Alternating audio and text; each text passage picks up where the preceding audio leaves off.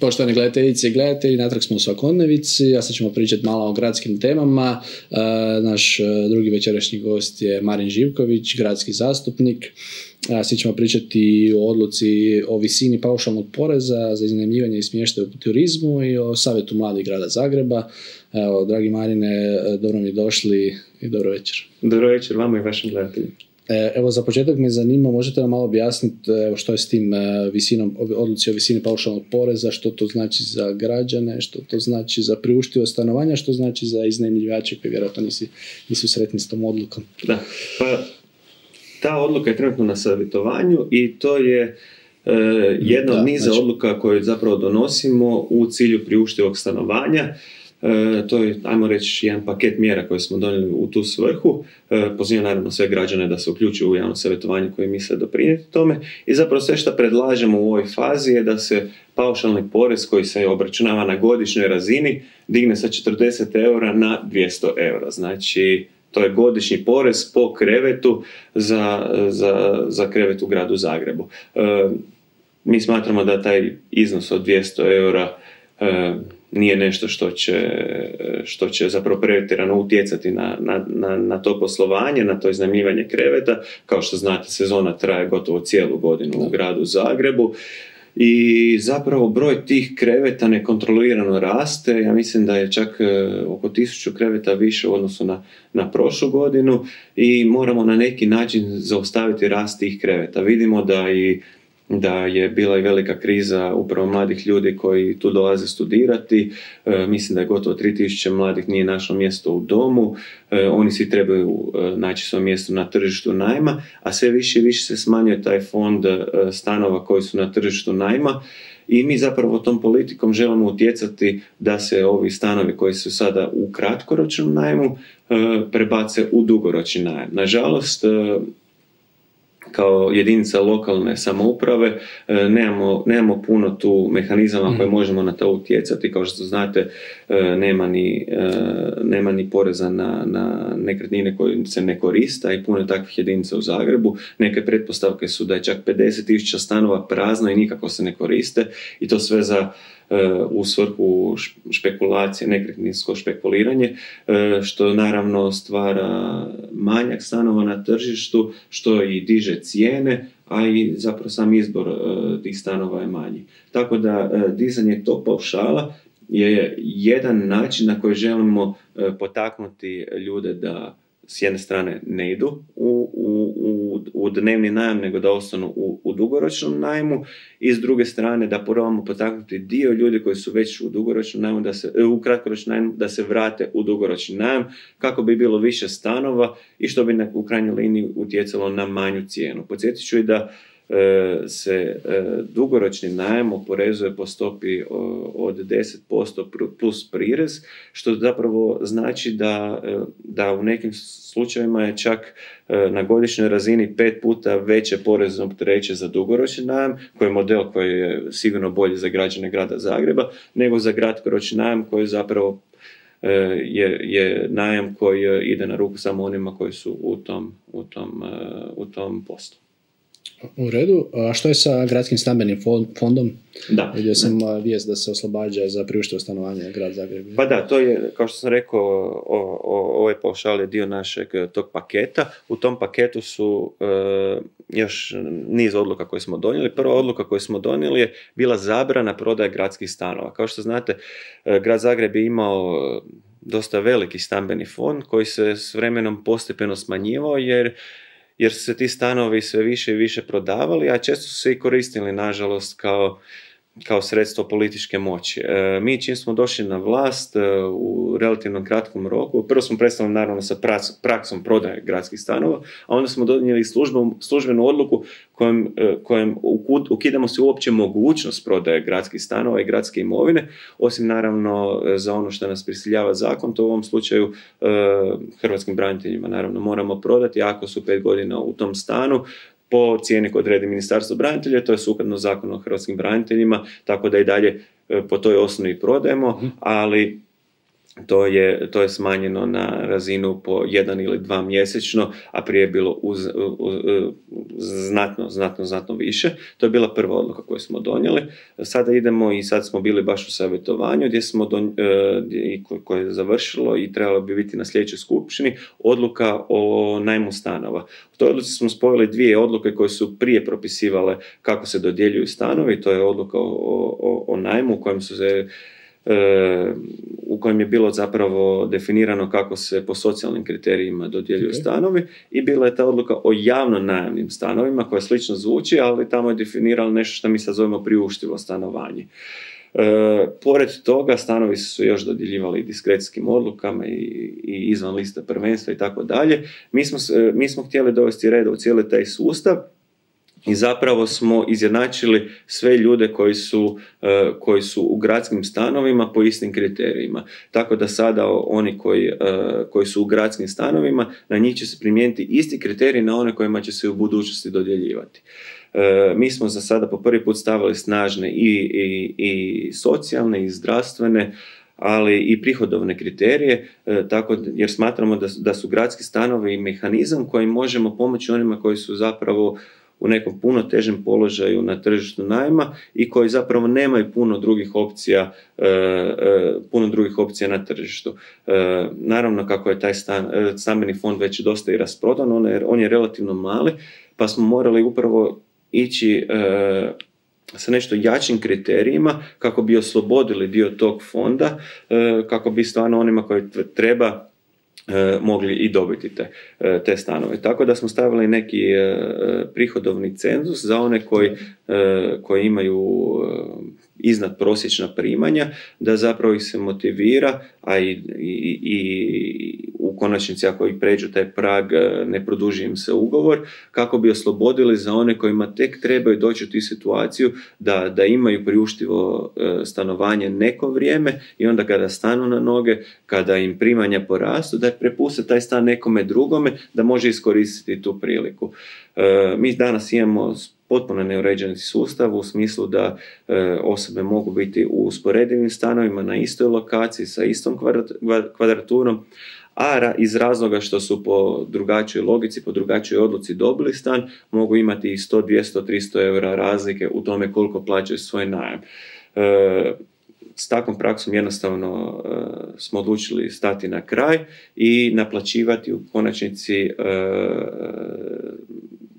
cijenu stana po, upravo po, po, po, kriteriju prihoda. Tako da oni koji imaju niže prihode plaćaju e, znatno manje od onih koji imaju više. To, to ima naravno i mehanizam kao neka polisi, to je zapravo polisi mehanizam kojim osiguravamo dugoročno da, e, da, da ta dodjela stano bude dinamična i da oni koji stanu na noge, da oni koji, e, koji su već i napredovali u karijeri i imaju veća primanja ili su e, više se ne brinu za nekog člana obitelji, e, sada imaju priliku prepustiti taj stan nekome, nekome drugome. I to, u toj kombinaciji smo e, zapravo vidimo način da, da za dobar dio stanovništva osiguramo to priuštivo stanovanje. Pored toga, idemo naravno sa pojačanom izgradnjom novih stanova.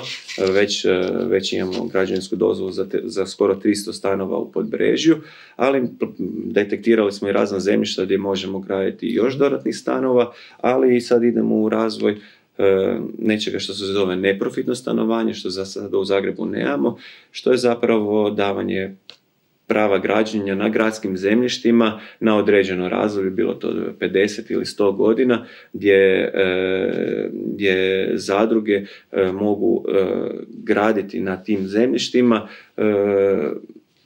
i zapravo se na taj način osigurati priuštivo stanovanje i to onda po unaprijed dogovorenim pravilima i koliko će stanarina biti i tako dalje, što znači da ostaje u tom fondu priuštivih stanova, a nakon 50 ili 100 ili 75 godina ta zgrada onda ide u vlasništvo grada natrag i zapravo se taj stambeni fond isto tako postepeno širi. Pored toga, a to smo imali u srpnju, smo imali odluku o, o dodjeli prostora udrugama i organizacijama civilnog društva, gdje smo zapravo omogućili kroz taj mehanizam e, suradnje u upravljanju da, da organizacije civilnog društva koje koje posebno brinu za beskućnike, za mladi, za alternativne skrbi, za žrtve nasilja, da se dio stambenog fonda osigura i za njih kako bi mogli oni E, pa ne samo za udruge i za ustanove gradske, e, kako bi mogli na jedan brži način, na jedan efikasniji način, upravo te koji, kojima treba brzo stambeno zbrinjavanje, zato jer su u posebnom riziku, ali često im treba i neka druga vrsta pomoći, bilo to e, podrške, psihološke podrške, nekih edukacija ili, ili u krajnjoj liniji treba im privremeni smještaj E, kroz taj mehanizam smo osigurali da imamo isto dinamično, dinamično korištenje tih prostora. Na taj način mislimo da ćemo gradski fond stanova koji je mali e, zapravo koristiti na optimalan način i da ćemo taj mali resurs koji moramo postepeno širiti e, zapravo usmjeriti na one kojima najviše treba, a neće ga koristiti oni kojima, kojima, kojima zapravo to, to više kao, kao mehanizam ne treba, kao mehanizam pomoći jer u krajnjoj liniji e, gradski stanovi moraju služiti da pomognu nekome, a ne da, da neko prisvaja to kao e, u privatnom vlasništvu nešto što je javno. E, spomenuli ste kao ciljenu skupinu i mlade. Često se spominje te veliki problem u Hrvatskoj kako mladi dugo žive sa roditeljima. Vi pokušavate isto na neki način taj problem riješiti, olakšati mladima da se osamostale. Da, da, evo, e, ja posebno mi je zadovoljno, posebno, sam, posebno mi je drago što smo u tu odluku stavili mogućnost da se mladi prijavljuju kao cimeri. mm To jest e, da, da, mogu, da se mogu na priuštivo stanovanje prijaviti više, više mladih osoba koje dijele neko neko zajedničko iskustvo i mogu se prijaviti za veći stan ka, kao cimeri. To posebno smo napravili ne samo zbog mladih ljudi, nego i zbog toga što su nas tražile udruge osoba s invaliditetom, jer upravo mlade osobe koje, e, koje, koje imaju neki invaliditet često često dijele i osobnu asistenciju i onda u tim situacijama gdje zajedno žive e, im je zapravo puno lakše dijeliti te usluge i na neki način se oni tako mogu i lakše osamostaliti. I tražili su posebno da se omogući da se, da se, da se prijavljuju ne samo samostalno, nego i u kombinaciji sa nekima koji je njihov vršnjak i da se tako mogu osamostaliti. Do prije to nije bilo moguće i posebno je drago što smo to sad omogućili. Tako da da, e, Hrvatska je, mislim, pri vrhu liste, 33 godine je prosječna dob da se, kad se mladi osamostale i moramo nizom, nizom politika na to pokušati utjecati, e, što gradnjom stanova, što proširivanjem e, tog fonda, što tim tom neprofitnom gradnjom i tako dalje. A jeste imali priliku pročitati e, ovaj nacionalni program za mlade koji je donijela vlada u lipnju, ali se dugo se čekalo na program, nisu zadovoljne baš ni civilne udruge s tim mreža mladih, ja mislim da nisu. Kako vi gledate? Pa da, evo, možda baš uh, u tom segmentu stanovanja koji je čak i donekle dobro opisan uh, u pogledu mjera koje su tamo prezentirane, to je jako nekonkretno ne zna se što, što, što će mladi ljudi na kraju iz toga dobiti. I dalje se spominju programi kao što su APN koji kao što znamo, iako kratkoročno možda može pomoći nekome da digne kredit, zapravo dugoročno dižu cijene, e, cijene nekretnina i to stanovanje e, za većinu populacije čini još nepriuštivim nego što je bilo. Druga mjera koju spominju je APN, ali za najam. Znači isto subvencionirano najam koji će isto jednako tako kao što APN doveo do, do povećanja cijena e, nekretnina, tako će ovo dovesti do povećanja cijena najma i kao što su banke profitirale od APN-a, tako će najmodavci profitirati od subvencioniranog najma. Mi nismo za, mi nismo za takve mjere, mi smo za povećavanje e, javnog stambenog fonda, mi smo za za porezne, eventualno porezne olakšice za osobe koji, koje daju najam, mi smo za, za mjere koje, e, koje aktiviraju imovinu koja je trenutno neaktivna, kao što sam ranije spomenuo koja ima oko 50 tisuća u Zagrebu i s takvim mjerama koje povećavaju ponudu stanova na, na tržištu možemo dovesti i do pada i do pada cijene, ali i do veće ponude, čime, čime, čime mladi ono, su automatski u boljoj poziciji na tom tržištu. E, naravno, potrebno je urediti taj zakon o najmu koji, koji je još e, iz 90. godina, koji e, ne garantira osobama koje su nemaju gotovo nikakva prava, ne štiti ih od nagle, nagle povećanja stanarine gotovo nikako. Kao što znate i većina ili dobar dio ljudi koji se nalaze u najmu nemaju ni, ni sređen ugovorni odnos i ono, takav, takav takav okvir se ni, malo ne sankcionira, nego se prešutno čak i, i odobrava. E, mi mislimo da, da se to cijelo područje mora srediti i mora se, mora se ići više na, na ruku ljudima koji, koji su u ovoj situaciji u lošem položaju, a to su, to su najmoprimci. Mm, dobro. E, ima li grad Zagreb akcijski plan za mlade i zanima me koliko je ovoj gradskoj upravi, Tomaševićevoj upravi, Uh, koliko je ona otvorena uh, za inpute civilnog društva. Evo pričao sam kad su mi bili u emisiji Kristijan i Leo iz mreže mladih da oni imaju da ih sluša grad Zagreb. Pa evo, mi smo, mi smo donijeli baš akcijski plan uh, nedavno prije ljeta, zapravo na proljeće još i mogu reći da smo imali dosta inkluzivan proces, imamo i organizacije civilnog društva u radnoj skupini koja je, koja je radila taj, taj program, ali imali smo u sklopu e, odbora za mlade i proces kojim smo zvali udruge da dođu e, sudjelovati u javnoj raspravi upravo o tom programu. E, on pokriva niz područja i ima jasno definirane indikatore što i kako se mora raditi. Recimo jedna od mjera je bilo upravo da E, da izbor za savjet za, za mlade koji smo proveli e, na, na zadnjoj skupštini, da moramo imati javno predstavljanje kandidata. I to smo isto organizirali u sklopu, e, u sklopu skupštine, gdje smo čak dva dana odvojili da, da se svaki kandidat može predstaviti. Nismo htjeli samo jedan termin, u slučaju da neko ne može doći. Imali smo dva dana za redom i gotovo 50 o, zapravo otprilike 50 mladih osoba je došlo i sebe predstavilo. I mogu reći da je to bilo jedno dosta dobro iskustvo jer e, možemo mi pročitati u CV od te mlade osobe i vidjeti za šta se ona zalaže, ali te kad su se predstavili meni je bilo jasno e, za šta će se oni zalagati, koliko će, koliko će goljivo to zagovarati, e, koji su im fokusi i koje te politike koje se zapravo ne bi dogodile da ti, ti mladi ljudi nisu odabrani u savjet. Jer kao, kao i uvijek u politici, onoliko koliko svog nekako slobodnog vremena, svog e, angažmana, svoje volje, svojeg žara zapravo e, neko, neko stavi u, u neki proces, takav će krajnji rezultati biti.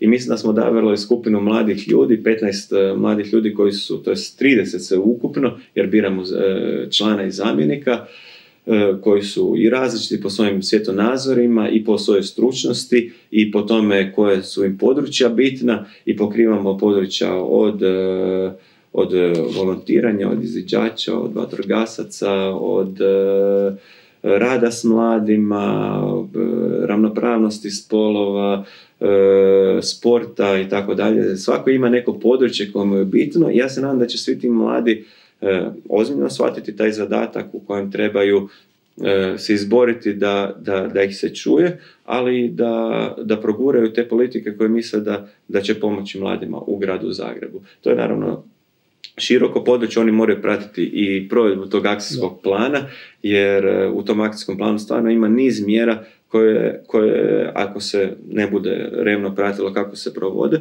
možda će se neke i propustiti. I to isto E, to je isto uloga, ajmo reći, savjeta mladih, ali i civilnog društva što ste spomenuli, da, da, da prati i da, da slučajno se ne bi dogodilo da se nešto toga ne provede. Mi kad smo radili taj akcijski plan, nam je bio baš nam je bio cilj da, da to bude provedivo. Često znaju biti ti akcijski planovi, ti strategije, te strategije neko, ajmo reći, prazno slovo na papiru, nešto što, što se mora odraditi. E, sve što smo mi u tom planu naveli e, ima jasne indikatore što znači da se provelo, koliko ljudi treba sudjelovati, e, kada se treba kada se treba to dogoditi i koji je krajnji ishod toga. Tako da mislim da, da, je, da je napravljen neki iskorak, iskorak u tom smislu, ali naravno i vrijeme će i, i to pokazati.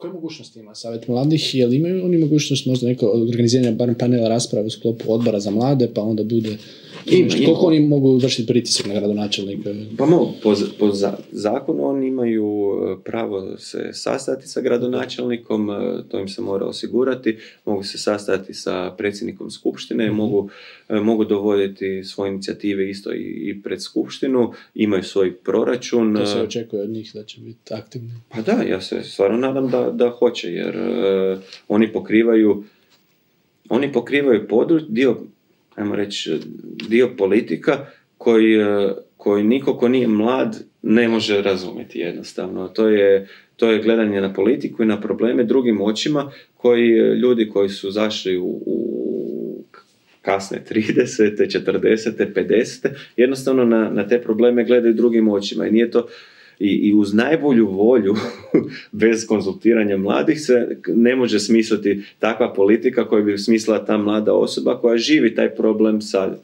Jer problemi mladih su, su, isto imaju svoju neku dinamiku. Nisu isti problemi mladih prije 5, 6, 7 godina kad sam ja bio mlad i koji su danas. I neće opet biti isti za za 5, 6, 7, 8 godina. A i skupina mladih nije, nije homogena, nego to je jedna užasno heterogena skupina iz e, različitih e, i socioekonomskih uvjeta koje dolazi s različitim razinama obrazovanja i različitim zanimanjima, tako da ako ne osluškujemo mlade u ovom trenutku, onda ćemo fulati što, što ono njima što stvarno treba. I oni imaju prilike ne samo kroz te formalne mehanizme, nego ćemo se mi truditi kao što smo, kao što smo i do sad se trudili, kao što smo i ovaj savjet stavljali u, u razne radne skupine, u razna povjerenstva, da sudjeluju u, u, od početka u kreiranju politike, a ne da budu samo neko ko ko u zadnjoj fazi kada, kada se, ajmo reći, neki detalji uređuju, e, da mogu, da mogu nekako doprinijeti. Oni moraju biti od početka uključeni u politike koje se odnose na njih, kako bi u tim